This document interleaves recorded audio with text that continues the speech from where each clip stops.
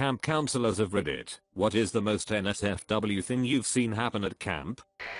I was a counselor at a day camp. We took kids to the zoo. A kid shoved his thumb fully inside a petting zoo goat's butt. I asked him why, and he just shrugged looking at me, like I'm the idiot. I felt bad for the goat, but it was still standing next to him, so maybe it was into it. Day 1 at camp, we jumped out of the bus and ran around because we were so excited. My friend ran behind the bus and the bus ran him over. He was rushed off by ambulance. We didn't see him for another 3 months. I had two twin brothers that were very handsy with each other. One day one of them came to me crying because his brother had bit his tongue after he tried kissing him. This summer I walked in on 5 15 to 16 year olds touching ball sacks together while comparing testicle size. That was a fun incident report to fill out. Edit. For the record, the incident report doesn't get them in trouble. It's more of a thing to protect me and the other counselors if a kid were to tell their parents. I was working at a young life camp in Colorado probably 12 years ago. I think it was the first day right around dinner time and a girl just up and died. Her heart just stopped. She was sitting talking with her friends and fell over. It was incredibly intense and very sad for a lot of people and tons of people were there to witness it. It's not the most scandalous of camp stories, but it was certainly pretty up and put a weird vibe on the rest of the week. I was a camp counselor years ago, and while I don't recall really seeing anything NSFW with the kids, I can tell you almost everything I saw with the counselors was NSFW. I couldn't walk into a room without seeing people king. Intense, on top of the staff washing machines, in the general store. Parents, if you send your kids to camp, just remember, literally the only thing those counselors are thinking about is king each other. I worked at a sleepaway Girl Scout camp with all female counselors and staff, where a solid 60% were lesbian. There was a strictly enforced no walking in the bushes rule, because so many counselors would go at it anywhere they could find.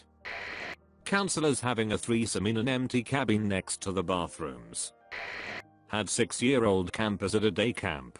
After swimming, found two of them facing each other naked in the locker room. They were standing there, hitting each other's erect penises, and making the boing boing sounds. This actually happened earlier today. I work at a summer day camp at a local park with kids in kindergarten age group. Interesting slash gross things happen almost every day with kids at that age, but today's events took the cake. Basically this 6 year old boy found a dead bird in the grass and decided it would be fun to pick it up and smear the blood and guts all over his hands and arms after doing that, he started chasing around other campers to try to share his bird entrails on them. I had the pleasure of catching the gore-covered kid, ripping the bird's ravaged carcass out of his hands, and spending half an hour in the bathroom getting him and myself cleaned up. When I asked him why the heck he picked up a dead animal he said that he thought it was something awesome to do. There were these two kids, which we nicknamed Poo Poo Picasso and Gandhi. Both were in my friend's cabin, which was year 2 campers, so the kids were just out of 3rd grade. So I guess they were around 8 or 9 years old. Anyway Poo Poo Picasso would smear his. He'd defecate inside of his trunk and left it there for a day before my friend noticed the smell. He wrote on the walls of the bathrooms with his own fesses. It was disgusting. Now Gandhi didn't want to be at summer camp, despite it being a total blast. He wouldn't complain and ask to call home which he wasn't allowed to do, unless it was a rather serious situation.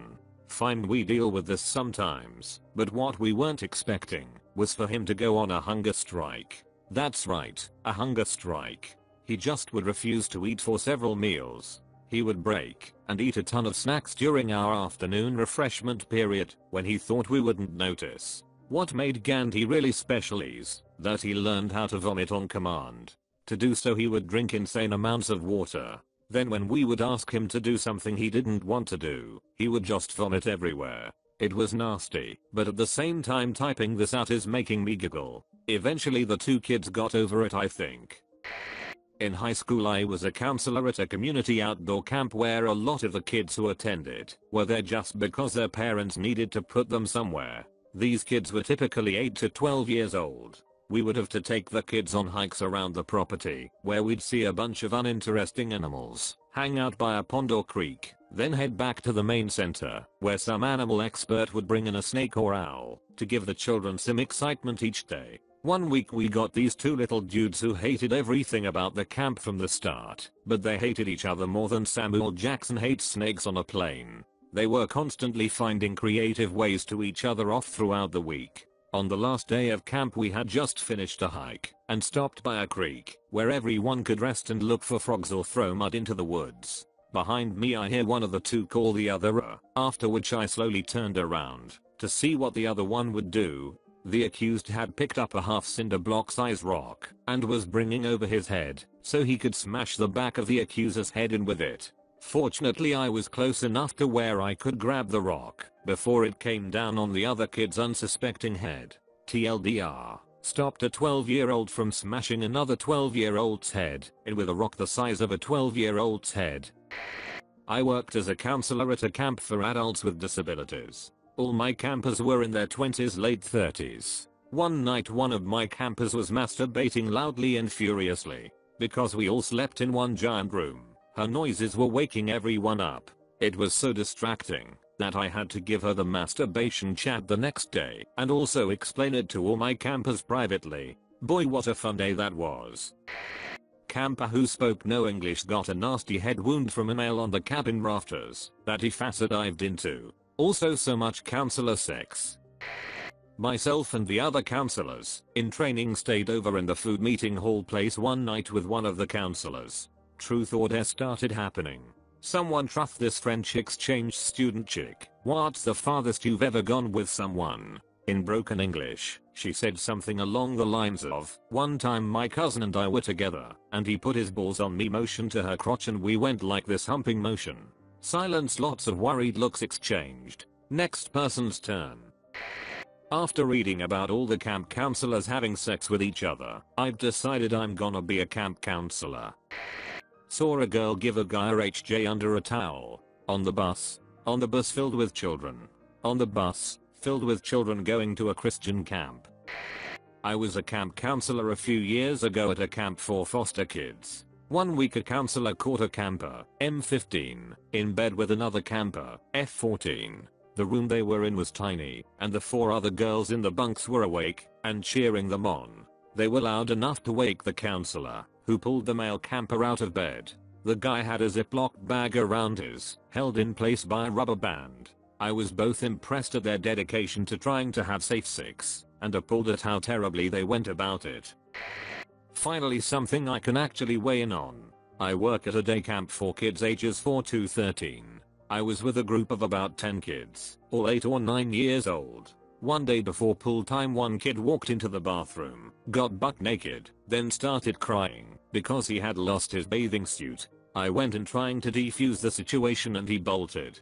He ran around at top speed screaming and crying, flailing his arms all over the place. Do you know how illegal it looks for a 16 year old boy to chase a nude 8 year old? Well I eventually caught the kid and brought him back to the bathroom. When I asked him what his bathing suit looked like, he pulled a bathing suit out and said it looks like this. Oh. Had his bathing suit 6 feet from him the entire time.